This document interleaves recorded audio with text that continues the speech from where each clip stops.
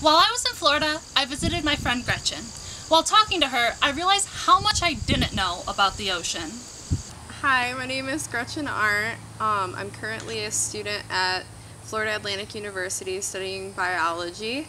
I'm also a volunteer at the Sea Turtle Preservation Soci Society for our Sunday morning walks and I'm also a volunteer at the Sea Turtle Healing Center at the Brevard Zoo. So in the morning we get up really really early, 5 a.m. for me. um, and then we head over to the beach. We usually get there about 6.15 a.m. before the sun completely rises and we divide our groups into two. One end takes the south, one end takes the north. Um, we meet again in the middle and there our volunteers we um, we evaluate the nest, we determine what species it is, we, um, we record data for FWC's future use so we can determine the populations of turtles and what their numbers are and if they're stable, if they're threatened, you know, that helps give us a little bit better of an idea of what's happening with these species. Okay, it looks like along over here that we've got, we might have a nest because we've got long tracks coming up and we've got a nice mound over here. The first thing we're going to do is to check and see the ins and outs of the tracks so we know what we're looking at at the top and what kind of turtle that we're looking at. So by looking at her tracks, we know that she's gone out this way. So she would have come in up that path. Because if you look, there's a dig, a kick back here, kind of like if you were a runner and going, that you would have a dig at the back. We can also see that that was a longer track, so that would have been after the tide line today. So this is our exit for her. So we're gonna come up here then and see whether or not it's a false nest, a false crawl, or whether it's an actual nest. Some of the things that we look for is whether there's a deep ridge on this part, indicating she was ready to go out and doing her cut. We see that there's spray, so she's covered the nest really well. So this is indicating to us that we have a nest. And we have a body pit. Sometimes not all of these signs are really strong. Um, we can have a smaller ridge here. We can have a little bit of spray and not as much that we see here. She did a really good job. And then we can see too her little tail path coming in the two paths. It looks like we've had someone with a dog visiting too. So then we come on around and we have to kind of ballpark where she, we think that she would have um, left her eggs. So we look to the last part where she's come in and we follow her tracks and we actually stand in them. And we look for a small mound and we lean out. it's really scientific. And so we kind of talk to the group about where we think it would be. Group? I would, I would say right around here would be about where the so we're looking for a mound, we're looking for the end of her tracks, and then we'll make a little mark like this. And this is where we're going to begin our measurements.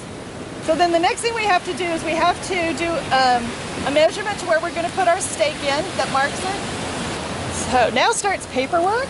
Because this is going to be a marked nest, we'll give it a number. We'll fill out the paperwork, we'll do all of the measurements for it, and then later um, after hatching time, a few days later, we have a prescribed number of days. We'll come back in and we'll open up the nests and do a count.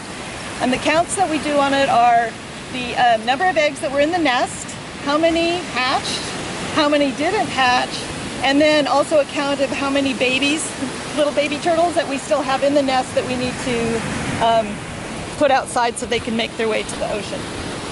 So we have to mark the dates.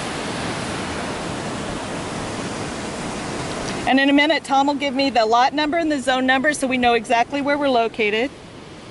We'll do a list of all the surveyors.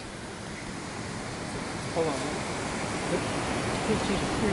Then the next thing we have to do is we have to do um, a measurement to where we're going to put our stake in that marks it. And then we're going to do a measurement all the way out to the dune and we're going to put another stake out there so that if this one gets lost due to weather or somebody picking it up, that we have another reference we can measure back from later. Lisa's going back and doing the stake measurement. And then also from this measurement, we'll determine um, three feet back where we'll put the sign. So So we have several sets of markers to know that where the sign is, that three feet out is the egg chamber, and then from the dune stake, we'll have the measurement on record if we need to come back. Plus, we'll also GPS it. And we also give a description of the building. So it's a five-story yellow building with a green metal roof. And then from her, her track, because she had an alternating path to the way that she made her flipper marks, we know that she is a loggerhead. So when we dig holes for any of the stakes, do we need the three foot mark again? You marked it, okay. We dig everything by hand, no implements at all. Um, any of the nest work that we do, we do all by hand. No tools, no stakes, no kitty shovels. And it also has to be deep enough that the stake won't fall over. We think it's tough digging down like this. She had to do this last night in the middle of the night and and it's amazing how they can take their flippers and carve out about the size of an oatmeal box just perfectly round and just scoop down in to be able to lay the eggs in there and then if you ever got a chance to watch a video of how they do it once they get done they're just gently covering it up and patting it down covering up and patting it down which is just amazing that that big of an animal can be just so gentle with their nest.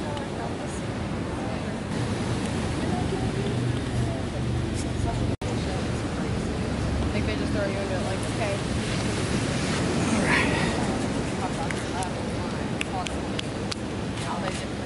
It's good to go. And then the last thing we do is mark off the, the tracks so that the next team that comes through knows that it's already been counted. Walk all the way through.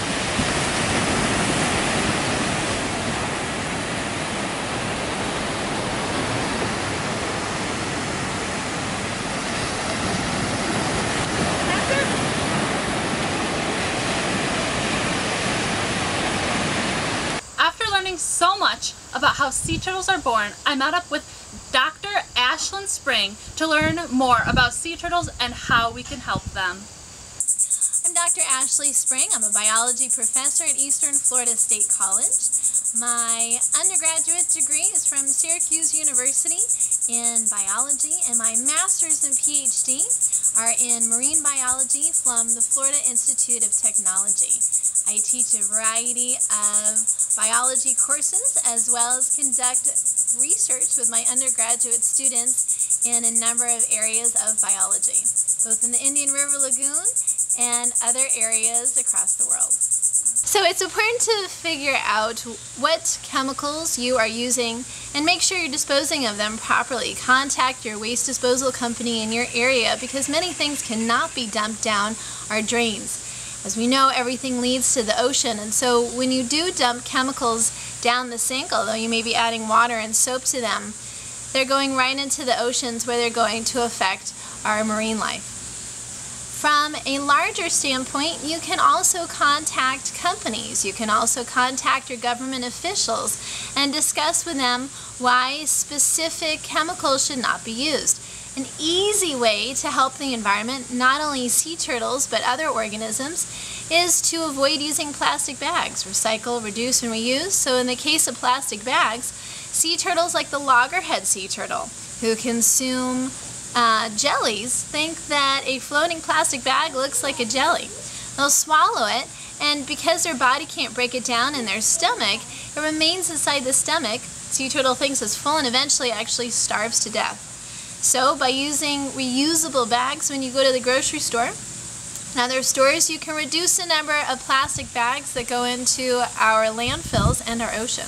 Fibropapilloma can be found in a tumor form on the sea turtles as large as about the size of a golf ball and even up to the size of a tennis ball. It's found in the soft tissue areas on sea turtles, around their eyes, under their flippers, and it can have an effect not only having an annoying large tumor on the side of you, but can affect their sight if it's around their eyes, can affect their feeding when it's around their mouth, and even blocking their um, ability to swallow as it gets larger. And when around their fins, makes it more difficult to swim. It's found in about 50% of all green sea turtles in the Indian River Lagoon and about 25% of all sea turtles found in Florida, either on the brink of dying or dead, have the fibropapilloma. That's about double in green sea turtles found in the Indian River Lagoon. So why so much higher in the Indian River Lagoon? Pollution. The problem is in the Indian River Lagoon, being that it is a more contained area with less flushing of water and being close to human activities, we have a higher amount of pollution than in the Atlantic Ocean where currents will take those materials and spread them out to farther distances. So now we have a higher percentage of sea turtles with fibropapilloma, especially in the green sea turtles. We see the highest amount. Although fibropapilloma has been found in all species of sea turtles with the exception of leatherbacks. And in the green sea turtles, they're exposed to human um, chemicals that we're releasing, like um, organochemicals, into the Indian River Lagoon, which won't directly harm them in terms of getting fibropapilloma, but does decrease their immune system's ability to fight off viruses and diseases. So, what can we do as individuals? To educate is the most important thing. Educate others about why we should not be releasing harmful chemicals and pollutants into our waterways. Protect our sea turtles.